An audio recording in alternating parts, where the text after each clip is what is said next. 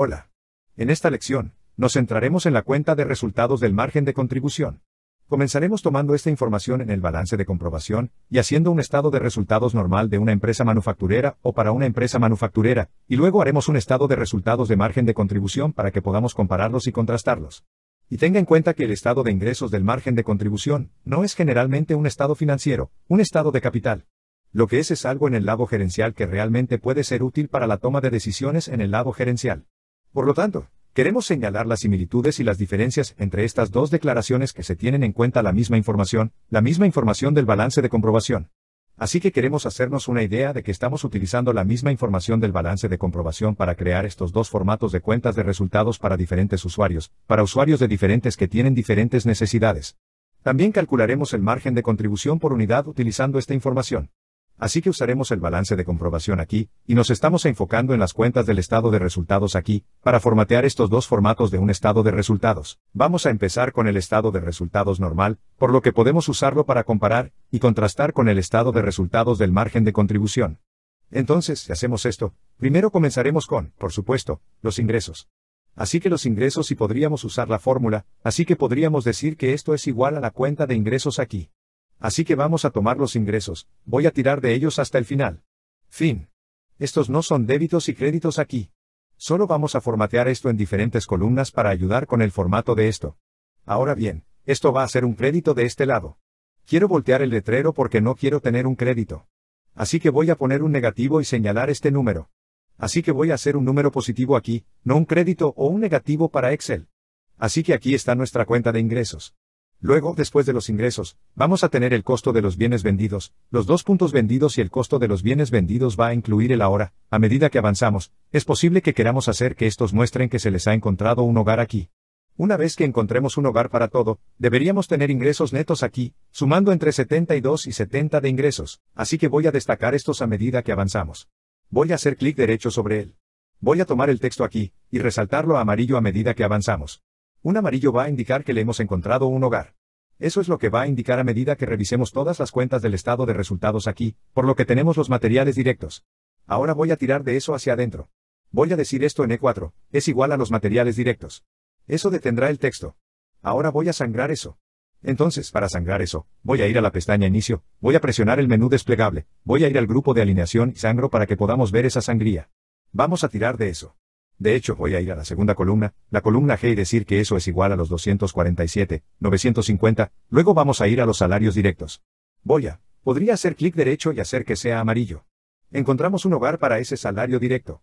E5, es igual a los salarios directos aquí. Y vamos a entrar en la segunda columna en G5, y eso es igual a los salarios directos.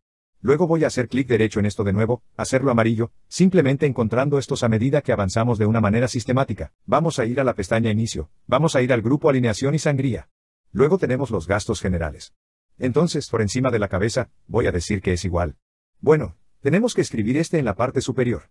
Por lo tanto, los gastos generales van a ser iguales normalmente en un estado de resultados normal. Veamos qué podríamos considerar como comisión de ventas por gastos generales. Eso no va a ser parte del proceso de inventario, no va a ser parte de los impuestos de costo de venta en la fábrica. Eso es algo que es parte del inventario que cualquier cosa que diga fábrica generalmente va a estar en el costo de los bienes vendidos. Es posible que volvamos a tener mantenimiento en la fábrica, vamos a tener que poner eso en el costo de los bienes vendidos de alguna manera, la depreciación en la fábrica. Eso va a tener que ir en el costo de los bienes vendidos de alguna manera, el arrendamiento de equipos de fábrica. Eso va a tener que entrar en el inventario de alguna manera. Y luego llegaron los sueldos administrativos. Eso va a ser un costo administrativo, un costo de periodo, el alquiler de la oficina administrativa, el alquiler administrativo de la oficina de ventas y el impuesto sobre la renta, todas esas son cosas que generalmente no estarán en el costo de los bienes vendidos. Así que cualquier cosa que tengamos allí, vamos a incluirla. Voy a seguir adelante y sangrar estos. Voy a decir a casa y sangrar esos. ¿Y entonces qué encontramos allí? Dijimos los impuestos, la maquinaria, la depreciación, el arrendamiento. Podemos ver que eso suma 154.5.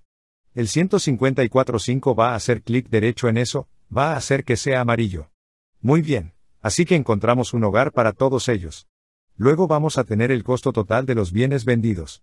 Ahora puedes seleccionar control, intro para salir de la celda en lugar de en la celda. A continuación, vaya a la pestaña inicio. Voy a sangrar eso dos veces. Entonces también podríamos subrayarlo. Estoy en G6, voy a ir a la pestaña Inicio, Grupo de fuentes y subrayar y luego podríamos resumir eso. Voy a resumirlo en la columna de afuera, en H7 es igual a la suma de, y vamos a sumar estos justo ahí, el 247 el conjunto de 3 y que, y así sucesivamente. Muy bien, entonces vamos a tener la ganancia bruta. El beneficio bruto va a ser igual a los ingresos menos el coste de los bienes vendidos. Eso nos dará nuestras ganancias brutas. Luego tenemos los dos puntos de los gastos operativos, y eso va a incluir básicamente el costo del periodo, que generalmente es la venta. Y los administrativos a menudo los sacan a la luz. Así que voy a desglosarlos aquí, vendiendo gastos dos veces, voy a desglosar eso yendo a la pestaña inicio. Voy a sangrar eso una vez, y luego vamos a ir a todo lo que está relacionado con la venta.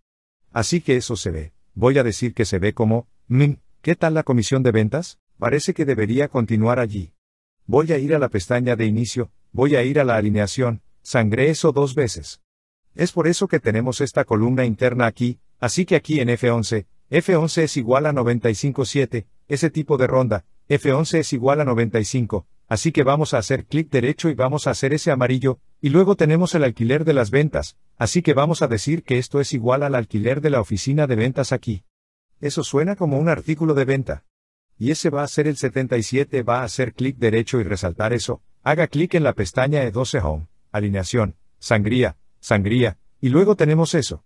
Luego vamos a tener el precio total de venta, voy a seleccionar CTRL Enter para estar en la celda.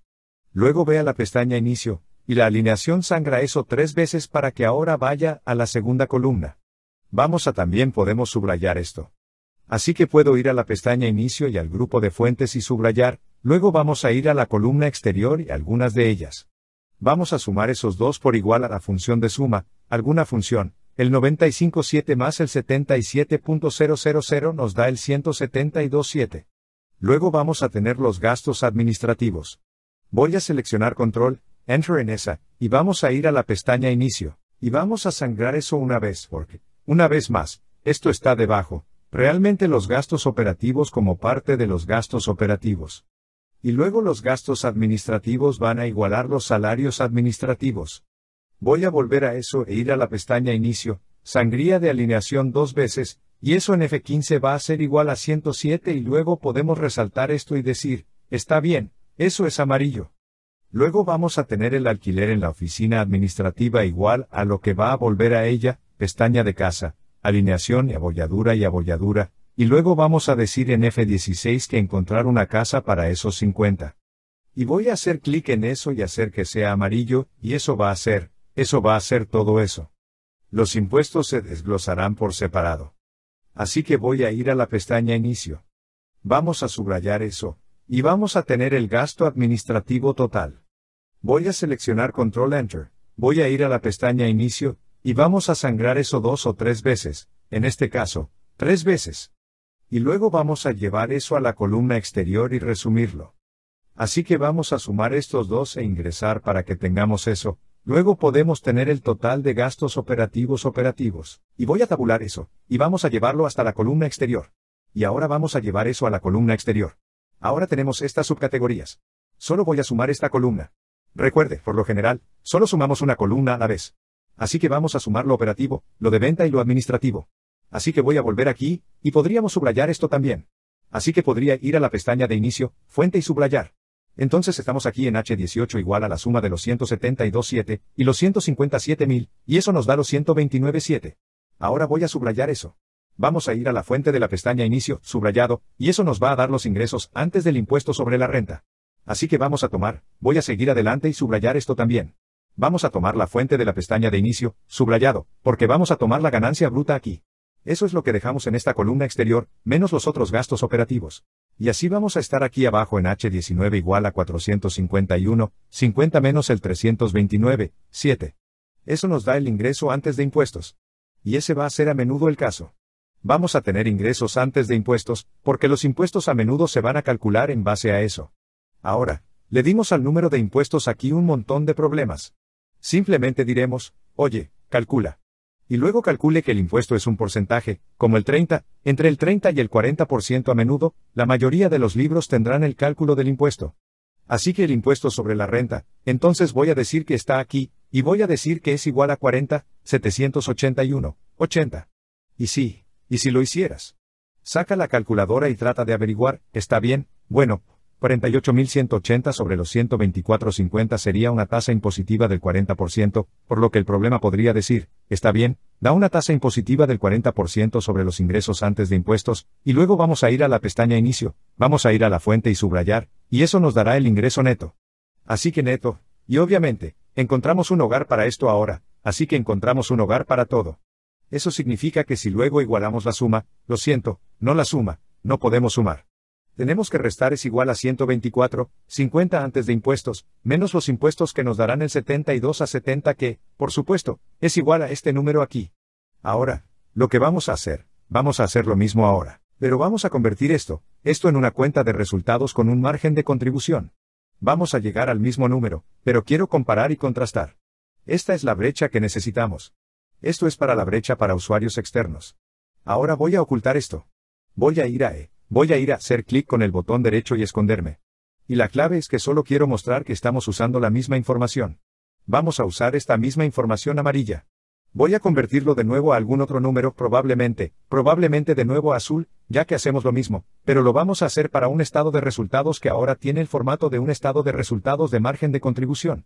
Y, por supuesto, el estado de resultados del margen de contribución también comienza con un área familiar, que es la de ventas. Así que vamos a tener ventas, y esa va a ser la cuenta de ingresos. Así que la cuenta de ingresos, voy a hacer lo mismo negativo, voy a voltear el signo de este número, y ahí está. Y luego voy a, voy a tomar esto, voy a hacer clic con el botón derecho, y voy a convertirlo de nuevo a, en este caso, era azul. Estoy.